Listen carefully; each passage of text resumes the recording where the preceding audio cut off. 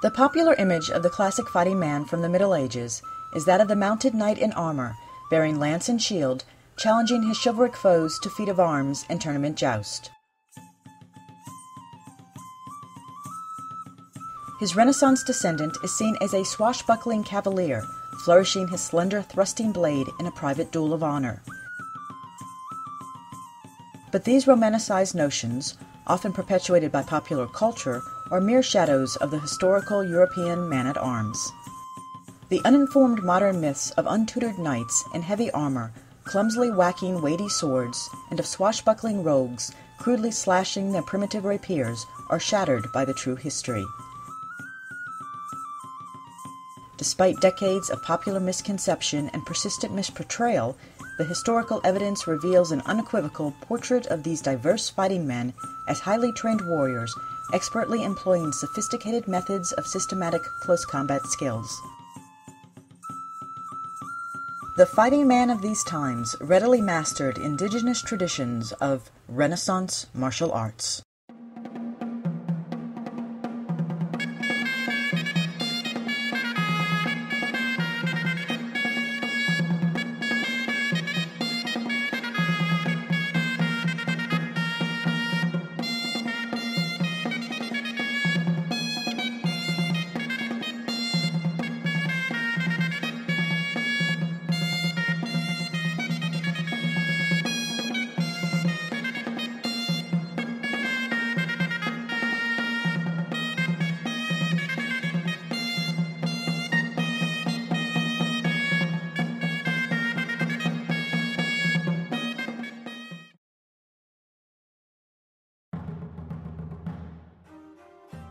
While the term martial arts today is typically synonymous with Asian fighting arts, for centuries highly sophisticated Western European martial arts existed. Their effectiveness and formidability, documented in accounts and chronicles, was combat proven from Scandinavia to the Mediterranean, from Spain to Russia, and from the Near East to the New World. It is from the Latin that we actually derive the English term martial arts from the arts of Mars, the Roman god of war. The term martial art was itself used in regard to fighting skills as early as the 1550s to refer specifically to the art of defense, knightly prowess in arms, or the noble science called fencing. Fencing meant far more than just swordplay. The knightly classes of the early Middle Ages christened these skills as the chivalric arts and the art of chivalry.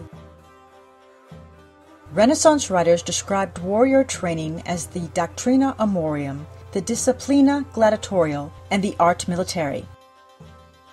The essential function of such instruction was to enable a fighting man to better deal with the chaos of personal combat by preparing himself with an understanding of what was possible. From about the 12th century, professional instruction in fencing existed across Western Europe. By the 14th century, Many of these instructors in arms, or masters of defense, became highly regarded international experts. They systematized and taught their fighting methods, then recorded their craft in vast and until now relatively unknown technical literature.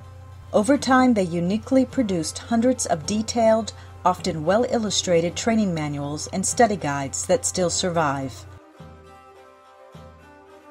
But these experts in close combat were no mere fencers.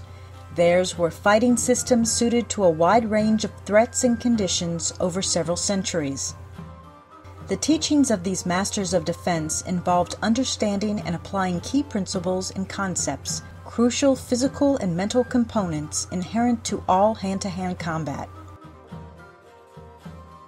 The weapons of dagger, staff, and axe were studied as vigorously as pole weapons, shields, and especially all manner of swords.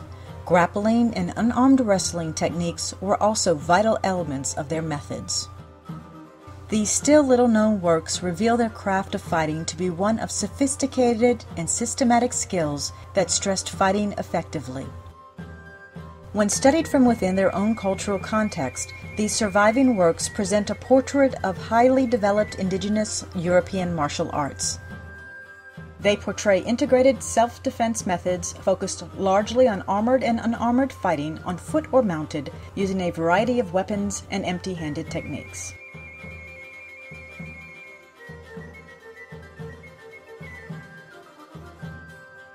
The indisputable picture of Renaissance close combat presented by these sources is frequently one of expert warriors expertly employing agile, well balanced, ingeniously designed, and well proven weapons with vicious efficiency. Theirs were not slow, ponderous, or ungainly tools.